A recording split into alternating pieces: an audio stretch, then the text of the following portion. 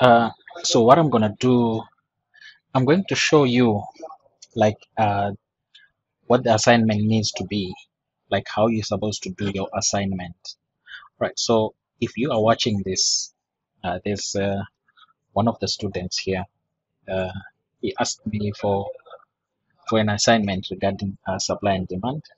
So I'm going to illustrate how you can easily be able to identify your supply zones and your demand zones. Right. I hope you can hear me clearly. There's a bit of uh, interference and noise where I am currently, but I'll try to make it as short and precise as possible. So when you want to highlight your, your zones, right? So I'm going to do an example of a supply zone and a demand zone, right? So what you do is you go to your monthly chart, right? That's step number one. Now on the monthly chart, you need to go to your line chart. Now when you go to your line chart, you just need to take note of the swing highs and the swing lows, right? That is very important. The swing highs and the swing lows. Now, where the market turned on its way to the upside, right? In this example, we can see this is uh, USD JPY. USD JPY has been in a very parabolic trend this whole year, but we have had a swing high in the past uh, month. Now, the reason why you're going to the monthly chart to highlight the turning points is for you to get the proper supply and demand zones. We are not looking for support and resistance zones here. Support and resistance zones, you get them inside your supply zones. Now, once you have done this on the monthly chart, now you can only use the line chart on the monthly chart. You see, just use the line chart on the monthly chart only, because that's where the higher time frame uh, trend is. So now, once you have done that, once you have done that, uh, you switch now back to your candlestick chart. Now you can see here, this is the point that I marked. Let me just zoom in quickly. This is the point that I marked, the swing point I was talking about. And we've had these two points here, right? Swing high and the swing low. Now you can see already price has been in a parabolica, right? Parabolica trend. And on its way up, it's creating new levels of demand. But the last month has really moved back to the downside and potentially created a new supply zone. Now, once you have done this, right, now take note where the swing point is to the upside, right?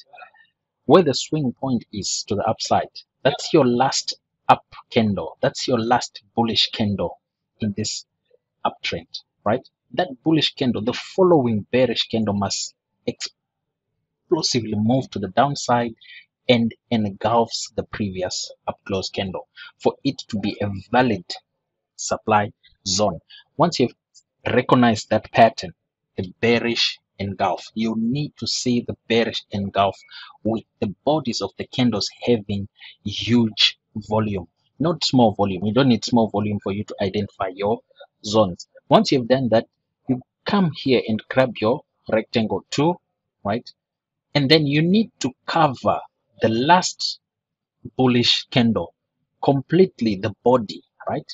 Cover the whole body. We're not going to use the wicks, right? The wicks, that's your manipulation price action. You cover the whole body with a rectangle tool. I'm going to redo that again. You come here, you grab your rectangle tool, you click and hold and then drag to the right, right? To identify your supply zone? Just gonna mark it here. So this becomes your supply zone. This is how easy it is to identify zones. Yes, but now there's more to this, right? But for those still going through their institutional supply and demand course, this is the basics of it. We're not going to go into the deeper uh, analysis of what we have to look out for in this scenario. So you've got your last up close candle, which eventually becomes your bearish order block. Then the following bearish candle must show impulsive price move to the downside so that it validates the bullish, the bearish engulfing of the last up close candle, thereby defining this area as your supply zone, right? So that's how easy it is to identify a supply zone. So when price retraces back to the zone, you are looking to be a seller, right? So now I'm going to show you now how to identify demand zone, right? I'm going to go to the monthly chart, Euro GBP. I'm sure I've got a couple of zones here. And then I'm going to switch to my line chart. Now, when I switch to the line chart, now remember the line chart also, you need to focus with the price that is really the levels, the swing points that are relatively closer to your current price action. So we've got these swing lows here. Number one, right? We've got swing low number one. Then we've got swing low number two when price was moving to the upside. Then we've got this swing high right here. Right? Then we also have the one in the middle of the range, this swing low. One, two, you can see relatively equal lows and price has been struggling to break to the downside. So that's what you do when you're on the monthly chart. You highlight your swing lows and swing points. You can also highlight the current swing high, right? Though it's in the middle of the pivot, it's not going to offer that much in terms of a proper zone. Now, the ones we need to focus on are the bottom ones because we need to highlight demand zones. Remember, demand is higher, uh, demand is lower, supply is to the upside. Once we've done that, we switch to our candlestick chart. Now, see this swing point here? That's our last up candle before price drops. Then we also have where the swing point here. Look at those relatively two equal swing lows, right? You've got demand here, you've got demand there. Look at this swing point, swing low, demand, swing low, demand, right? That's how easy it is. Now you can even see bullish engulfing. So you need the last down candle before the expansion to the downside. Last down candle before the expansion to the upside. Last down candle before the expansion to the upside. Last down candle before another expansion to the upside. Now that expansion now, you have to make sure that you see that it engulfs the previous down close candle, the last bearish candle. You see, like in this instance, I've grabbed my rectangle tool, right? I've grabbed my rectangle tool and completely covers the volume of the last down close candle and expand my rectangle to the right. You see? And then if I come here, this is my demand. Remember the relative, the equal lows here, the equal swing lows this last down close candle before the expansion to the upside you can see that's where price struggled to break to the downside because it's a what it's a higher time frame demand zone right? We also have a supply zone right here see? That's your supply zone. It's not a coincidence that price struggled to break to the upside. Any break to the upside is just a relative run off stop now focusing on the demand you see? So you need the last down close candle right? After that in expansion.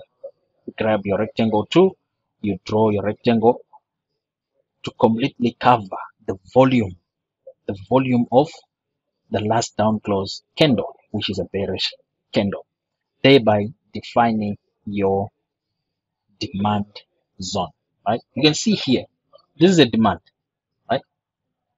Right here we've got a demand zone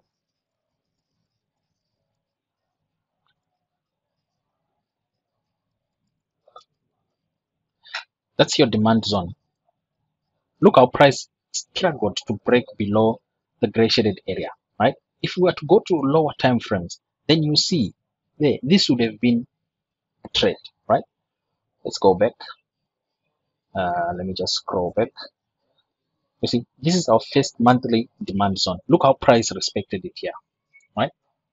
You see, look how price respected. This was the first retest of this monthly demand, and price went all the way targeting your previous swing highs. Remember, these will be your targets. Then after that, we've got a monthly supply run of stops price drops back again to this demand zone you see that monthly demand zone second no this is first retest second retest you see third retest potential runoff stops see? Runoff stops. Internal range liquidity in the form of sell stops. Then after that another expansion to the upside. So that's how you highlight your basics. That's your basics in highlighting your supply and demand zones. Now i emphasize again this is for the guys that are still on the institutional supply and demand course. How you can easily identify your supply and demand zones. So yeah that's uh, that's pretty much about it. Uh, okay another quick note. Uj usd jpy you can see we've got a new demand zone there. Price is now approaching that demand. Remember on its way to the upside price creates new demand levels. A bullish trend. On its way to the downside price creates new levels of supply so that's uh, that's basically how you you highlight that's how basically you can highlight uh, supply zone uh, supply zones and uh, demand zones okay? That's how you work on that. So on your assignment i hope you're gonna be able to manage but if you struggle just let me know and uh, we can i can illustrate further in class. All right. Thank you my brother and keep well